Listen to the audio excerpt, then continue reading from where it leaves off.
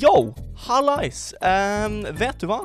Det nærmer seg mai. Det betyr masse fridager, nasjonaldag og ikke minst russetid. Det blir gøy, eller hva? Og tradisjon tro når det er russetid, så er det jo også høytid for russesanger. Og jeg har mildt sagt svært begrensa erfaring med russelåter, så jeg tenker kanskje det kan være spennende om vi gir en sjanse i dag og ser hva vi synes. For jeg mener, hvor ille kan det egentlig være? Før vi starter, har du abonnert ennå?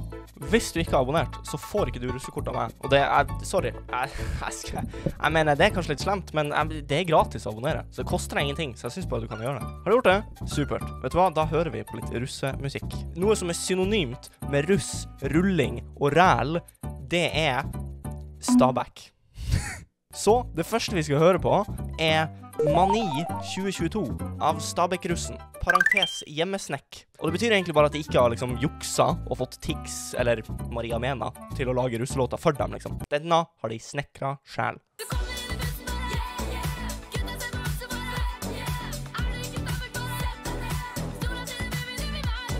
Jeg mener jeg, det, her, det her kommer til å bli slitsomt, merker jeg. Det er liksom Oh. Vent. Rulle rundt i pungen. Bekymringsfri. Sa de pungen? Hvorfor skal de rulle rundt i pungen? Er ikke det litt rart? Er det er det, er det, det man gjør? De sier faktisk at de ruller rundt i pungen. Hvorfor i all verden ruller de rundt i pungen? Jeg mener, de er damer. Har de i det hele tatt pung? Hva, hva skjer? Hva, hva er greia med damene i Stabæk? Har de pung? OK. Neimen uh, Go, girls.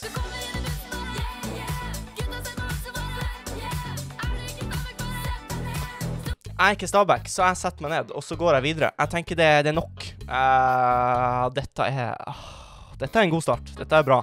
Neste ut er uh, Hermes 2022. Hva enn det er. Servert i 4K.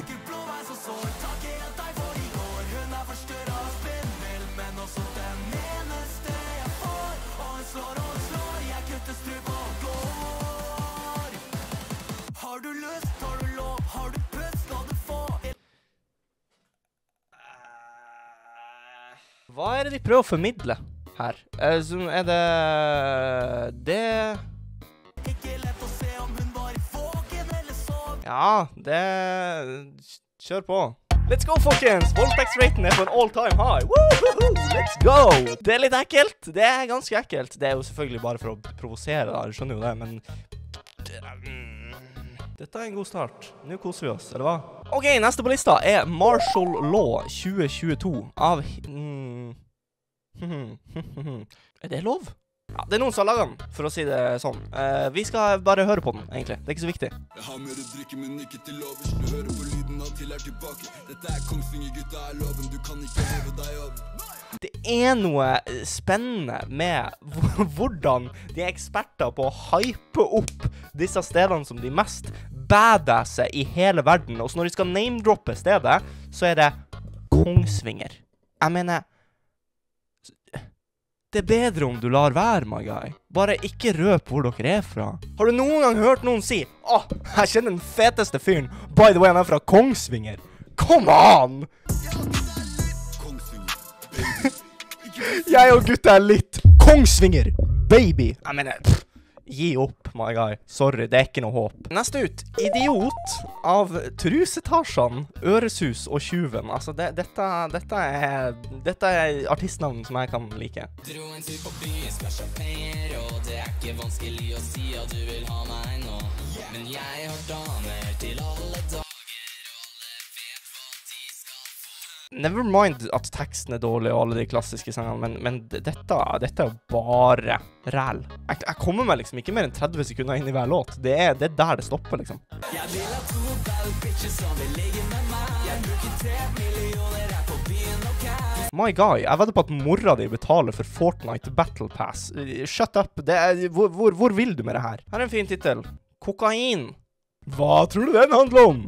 Jeg fuck it og dropper ut av skolen og går på byen. Hitter klubben, nesebor og packa med kokain. Alle sammen vet jeg klikker nå. Kult. Gjør dette. Jeg, jeg, vet du hva, jeg heier på deg. Gjør det. Jeg ses på liksom, Brugata i Oslo om fem år. Jeg vet ikke. Så sikkert mindre. Men jeg mener, det er jo, det er å forvente at, at, at teksten er fjaste og tøyste. Men eh, låta er jo ikke bra. Den er, den er, den er slitsom, og. Jeg, klarer, jeg får ikke til å høre på den. Det, det går ikke. Så Trusetasjene, dritkult navn, men kom an.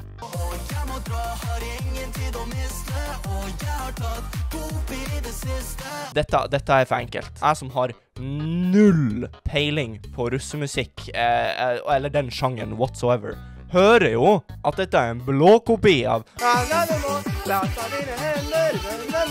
Jeg aner ikke hva den sangen heter, men det Dere hører dere òg. Nei, karakterstryk. Eller så langt har vel alle fått stryk, men dette er et par hakk under. Lørenskog Anthem. Nå er jeg spent. Hva i Lørenskog Anthem. Jeg ser for meg noen triste saker. Er er.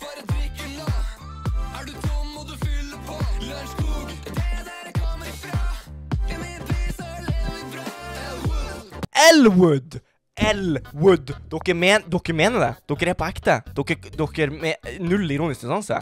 Elwood pluss ratio? You fell off? Jeg mener, come on! Og de sier at det er en by, men er det egentlig det? Lørenskog? At Lørenskog har blitt urbanisert de siste 25 åra, er det ingen tvil om. At det fortsatt suger å bo der, er det heller ingen tvil om. Fins Har Harstad russesang? Oh my god. Harstad. Harstad har russ! Mob Ties 2022. Å nei. Ok, la meg ta deg med Til et party med noen boys som er villere Ta med deg LSD, vi sipper GHB Den natt her er sjuk og vi knocker deg ned Nei, nei, nei, nei, nei! Stopp! Jeg prøver så godt jeg kan å være glad i Harstad, men Å, det her Det her gjør det ikke lett. Uff a meg. Jeg skulle ønske jeg kunne si at jeg likte det, men det er, det er ræva. Beklager. Jeg Ikke snakk party. Og hvorfor sier folk party? Kan dere slutte å si party? Det heter jo party.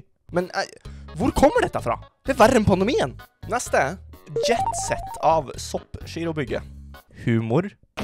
Full og jævlig, men fortsatt vi cash Du er like mye verdt som guttas fylla Vet du hva? Det er i hvert fall en, en strofe jeg ikke har hørt før. Eh, eh, eh, hvis ikke det sier at standardene for å få skryt er på en all time low, så vet ikke jeg. Kanskje jeg bare er biased og liker ordet bæsj. Skallebank har en spennende thumbnail. Den har ikke jeg lov til å bruke, fordi da tror jeg jeg blir strika. Vent! Det her er Eikeli! jeg lagde en video sammen med Andreas Nordbø. Ta også og Sjekk kanalen hans der nede, fordi Mm. Men der hørte vi en låt som dissa Eikeli-russen. Og nå får vi se, da, om Eikeli fortjener å bli bæsja på.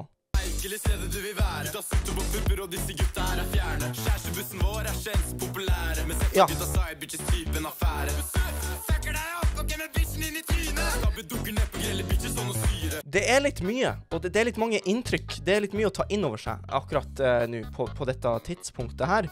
Det tar kanskje litt tid å fordøye hva det er jeg nettopp har hørt. Men det er ikke tid jeg har lyst til å gi det. Bank, bank, bank, hvem er det? 03 som har kommet for å bli Ikke kommet for å se Alle andre ned på kne Begynn å be her på Eikeli Det er en sånn reality check på at det, det, det, er, faktisk, det er faktisk 03. Vi er kommet så langt. Jeg føler at jeg snart er pensjonist. 03? Men de er jo sju år! Konklusjonen er vel kanskje ja, jeg skjønner litt mer av hvorfor folk hater på Eikeli. Eikeli har tydeligvis en damebuss også. La oss høre på deres låt. Å, fytti grisen. Bare, hvis det er bildet av skolen deres Jeg tror jeg skjønner hvorfor de får hate. En grusbane med ett mål, det Nei, det er slapt, ass. fem, seks, syv, åtte, 29 Digge damer, jeg vil lage skandaler. Født med gode vaner. 29? Du kan ikke mene at du faktisk kjenner 28 andre folk. det hørtes veldig Veldig trist ut fra, fra mitt sted. støv. Jeg, jeg sverger. Jeg, jeg, jeg har venner. Jeg,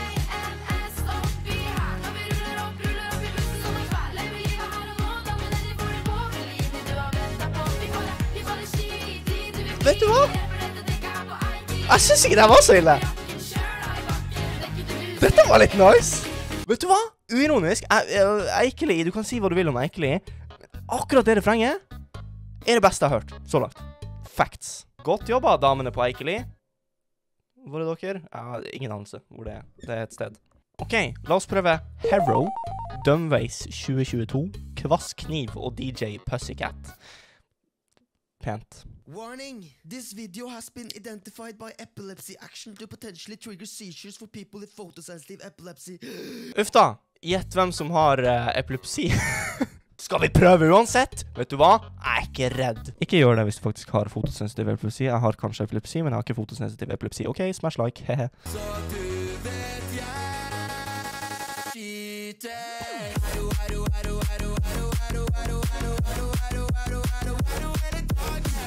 Å ja! Ja, OK, Herro. Her, hvorfor, hvorfor kobla ikke jeg at Herro var det narkotiske Ja, OK, skjønner. Mm, tøft. Lykke til med det, folkens. Jeg fikk i hvert fall ikke anfall. Let's freaking go. Tjommis 2022. Det, det må jo være Bergen. Nei! Nei, det er det tydeligvis ikke. Det er Hold deg fast. Nadderud-russen. Nå må Østlandet slutte. Frozone 2022.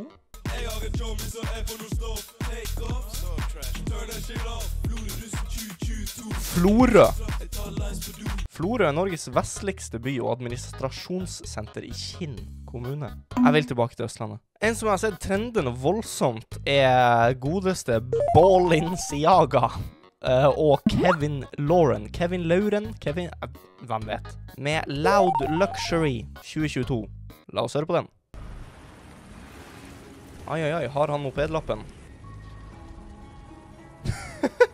ah, der er han, ja. Halla. Det er han Kevin-fyren. Hvor, hvorfor går han så rart? Jeg mener, kunne ikke fyren fått lov til å bæsje før, før de skrudde på kameraet? Det- La fyren gå på do. Han ser jo helt forstoppa ut.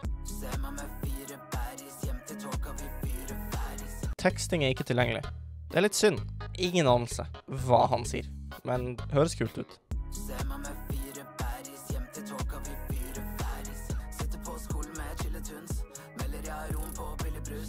Billig brus. Jeg er med. Jeg er med. Cola, Pepsi Han spesifiserer ikke. Er det Solo, liksom? Fanta, kanskje? Kanskje til og med Mountain Dew. Han ser jo litt wacky ut. Jeg vet ikke. Kanskje han er en fyr som liker Mountain Dew. Hvis jeg må høre noen si 'party' en gang til, jeg, kom, jeg kommer til Jeg kommer til å puste tungt og telle til tre, fordi Åh, det gjør meg litt sinna. Bro, du søler! Hallo! Lommelerka er full. Ja, det er den, men det, den er mer enn full. Du søler! Siste du vil ha på en festlighet, at noen som sitter her og søler med alkohol over pengesedlene dine, det er ikke greit. Skjerp deg, streetman. Hva i all verden? Hva er det jeg ser? Tar jeg feil, eller ser jeg riktig? Det er mulig jeg tar feil, men min dybdeanalyse sier meg at det der er et ansikt som ligner på vår gode venn Jenny Huset. Og hvis det er fakta, så er det så utrolig passende til hvordan type person hun er. Her filmer de en musikkvideo hvor hele poenget er at alle sammen her skal være anonyme. Bortsett fra hovedpersonene som faktisk har laga sangen, og som er stjerner. Og hvem tror du febrilsk prøver å pushe seg inn på sida her og få oppmerksomhet for alle penger? Det er vår gode venn Jenny. Og så kan det godt hende at dette ikke er hun, at det bare er en dobbeltgjenger, men vet du hva, det, det er passende, så det kunne like gjerne vært hun. Skal sies at jeg har hørt denne låta før. Første gang jeg hørte den, var faktisk når jeg filma sammen med Andreas Nordbø, så dere kan sjekke ut hans kanal der nede. Alt i alt, rusmusikk ikke helt min sjanger. Men Loud Luxury, helt OK. Jeg kan skjønne hvorfor det er en av de mest eh, populære. På andreplass vil jeg si Eikeli-russen, de jentene. Men stort sett er det bare ræl, alt sammen. Men la oss ta, la én til til slutt. Mobergen med Tropical Horizon 2022.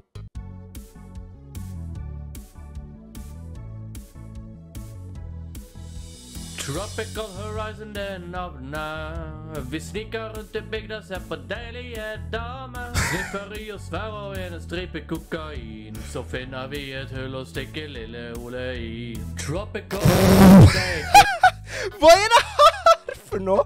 Hvor, hvor, hvor kom dette dette fra? Dette må jeg si, dette er godt håndverk. Hvis ikke dette o- oppsummerer Vestlandet på en god måte, så vet ikke jeg. Smash like hvis du også er fra Vestlandet og deprimert på grunn av det. Gutta, de er dopa opp på alt som takes kan. Det er kegerforsamling, setter kuken i gang. Hva er det her for noe? Jeg elsker det.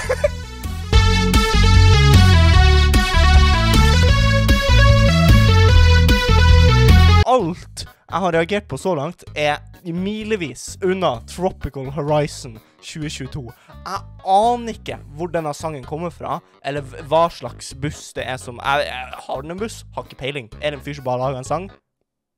Kanskje det. Altså, den har 165 visninger! Folkens, gå og subscribe på Halvalla01, fordi det her er kvalitet. Åh, OK, jeg tenker at det er nok, egentlig. Det, det, det var mer enn nok for lenge siden, men jeg tror vi ikke avslutter der. Hvis du har lyst til å se mer, eh, så gjerne abonner. Wow, jeg har blitt en lyrisk gud. Og hvis det er noe annet eller noe mer du vil se meg reagere på, så ta også og kommenter der nede. Du kan faktisk også bli medlem på kanalen, og da får du tilgang til noen eksklusive behind the scenes-videoer som ingen andre får lov til å se. Og mens vi er i gang, gjerne følg meg på Twitch også. Jeg streamer der hver eneste mandag og torsdag klokka 20.00, så håper jeg å se deg der. Men for denne gang så sier jeg takk for maten.